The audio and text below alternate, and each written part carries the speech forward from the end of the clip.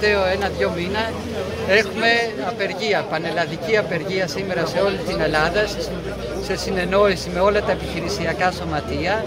Είναι ένα βήμα κλιμάκωσης του αγώνα μας γιατί οι εταιρείες και η Food και η Volt εδώ και ένα μήνα δεν ικανοποιούν κανένα από τα αιτήματά μας, δεν κάθονται καν στο τραπέζι να συζητήσουμε, να διαπραγματευτούμε.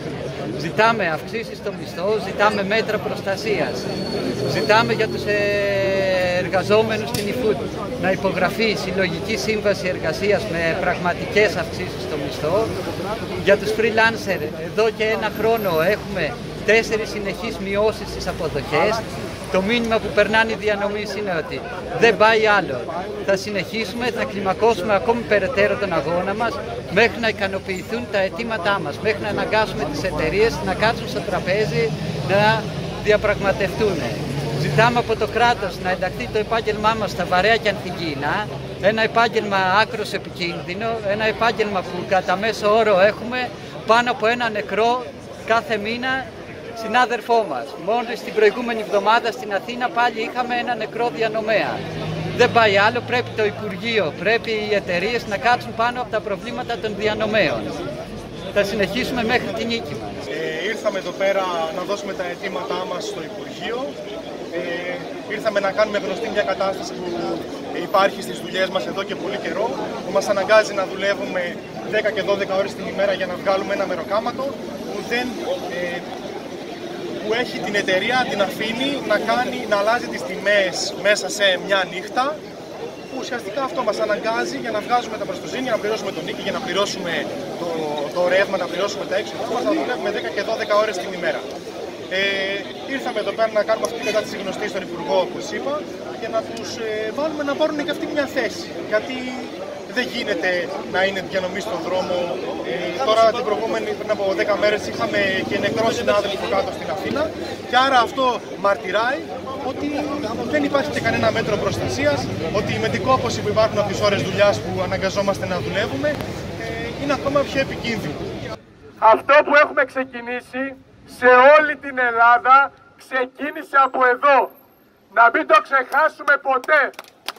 Αυτό το πράγμα το σωματείο eFood ένωσε freelancers και μισθωτούς που έχουν βαλθεί όλα τα σκυλιά της εργοδοσίας του κράτους και της εταιρείας να μας διαχωρίσουν, ένωσε μισθωτούς και free, έδωσε χέρι αγώνα στους βολτάδες και οι βολτάδες είναι ακόμα πιο μπροστά στον αγώνα, ξεσηκώσαμε την Αθήνα και σήμερα μιλάμε για μια πανελλαδική απεργία διανομέων σε όλη την Ελλάδα.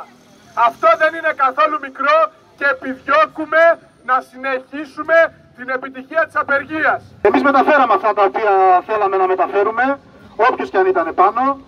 Έτσι, τα αιτήματα που έχουν να κάνουν δηλαδή με την προστασία της υγείας μας, την προστασία της δουλειάς μας, έτσι, την ασφαλιστική κάλυψη σε περίπτωση ατυχήματος κτλ. Δεσμεύτηκαν ότι για αυτά εδώ πέρα τα αιτήματα θα συζητήσουμε με τον Υπουργό την επόμενη εβδομάδα. Εμείς εντάξει έτσι κι αλλιώς κρατάμε μικρό καλάθι, δεν πανηγυρίζουμε για κάτι τέτοιο. Να έχουμε όμως το, στο σχεδιασμό μας το εξής. Ότι δεν τελειώνει τίποτα εδώ πέρα. Ότι προφανώς θα πρέπει να κλιμακώσουμε και αυτά εδώ. Και φανερώνεται ότι δεν τελειώνουν όλα με μία κινητοποίηση, αλλά θέλει πολύ μεγαλύτερη ένταση. Σήμερα να στείλουμε ένα μήνυμα εδώ, να στείλουμε βέβαια εννοείται και στις εταιρείες που θα κάνουμε τώρα την πορεία μας. Συνεχίζουμε ενότητα και αλληλεγγύη μεταξύ μας και να έχουμε στο μυαλό μας ότι αυτό το οποίο έχουμε δημιουργήσει, εάν το υπερασπιστούμε, μπορούμε να το κάνουμε ακόμα καλύτερο. Θα ενημερωθείτε για το ε, πότε θα μας ειδοποιήσουν τέλος πάντων ε, από το Υπουργείο. Εδώ τώρα να μεταφέρω και κάτι ακόμα. Μια ενημέρωση που είχαμε από Αθήνα και πιο πολύ αφορά τη Volt. Υπάρχει τριμερή συνάντηση μεταξύ του Σωματείου Επιστημισμού Τουρισμού Ξενοδοχείων Αττικής και της Volt στην Αθήνα 17 Οκτώβρη στο, στην επιθεώρηση εργασίας για να συζητήσουν τα αιτήματα τα οποία έχουν βάλει τα σωματεία. Καλό θα είναι εδώ πέρα και οι συνάδελφοι της Βόρεια Θεσσαλονίκης να δουν πώς θα κλιμακώσουμε με εκείνη εκεί την ε, ημερομηνία. Από εκεί και πέρα συνεχίζουμε, έχουμε τη μοτοπορία, έχουμε τις συνελεύσεις, θα βγει σχεδιασμός, θα ενημερωθούμε όλοι για το πώς πρέπει να προχωράμε κτλ. Συνεχίζουμε δυνατά.